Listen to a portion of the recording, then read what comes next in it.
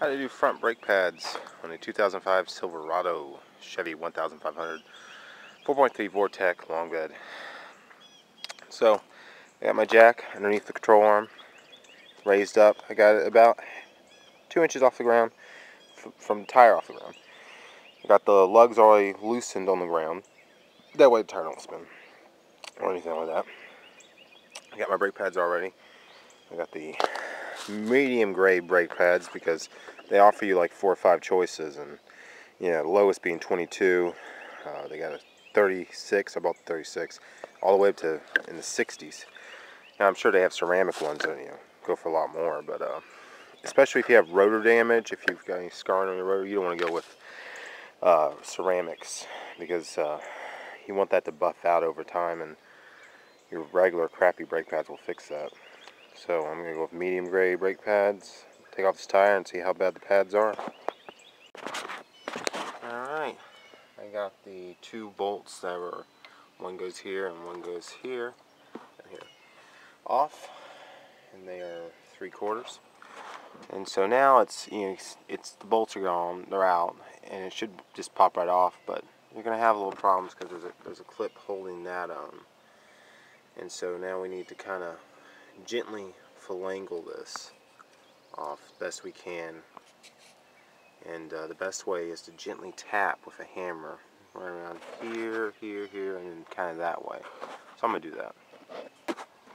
Alright, remove the caliper, have it sitting up there. Try not to pinch the line too much.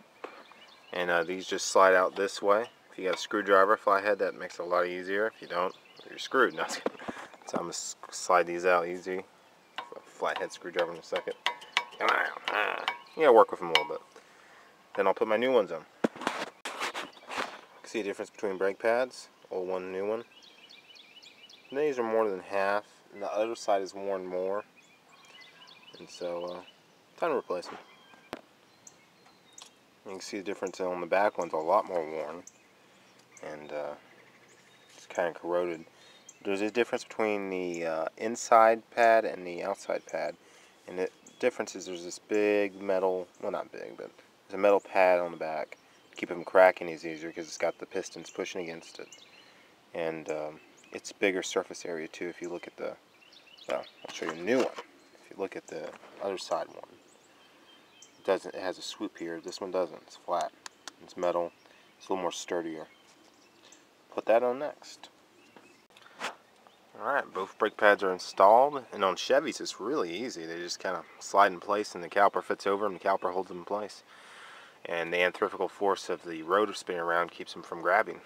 And so basically what I'm going to do here is uh, the caliper itself, um, the pistons have to be put back in a little bit because the brake pads are bigger for one thing and also because they do come out if you leave them out. And so what we're going to do here is we're going to take a C-clamp. First we're going to take old, the old brake pad because you don't want to do this with a nice pad. We're going to put it on top like that. And we're going to put a clamp there and just clamp it down until probably one side at a time. And then uh, we'll be good. Put them back inside themselves and then we'll put it all back together and be good. See here, I just have my giant 9 inch, well, 6 inch C-clamp right there and I'm tightening it up and uh, those uh, pistons are going back in place. And so I'll just get them about flush and then uh, put it on. Alright, we got the brake caliper back in place. And uh, the bolts are not in right now. Uh, here they are. And I got a little bit of Loctite Blue, which is the medium grade Loctite.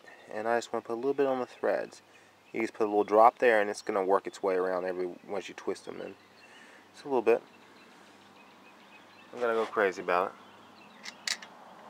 Just gently tighten them in as they find their holes. Come on, baby. Like so. There we go.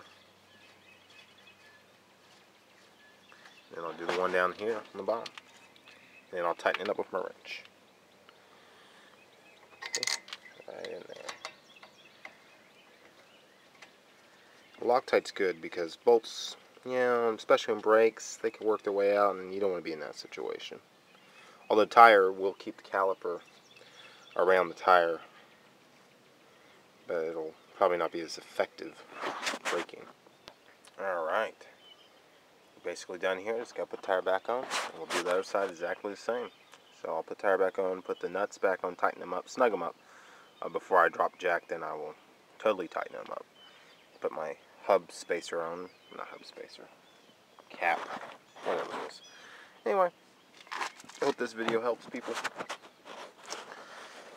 But of course, it's, you know, it's simple. On a Chevy anyway, it's pretty easy. Uh, Fords are a little more difficult. You gotta pinch some pins together and stuff like that.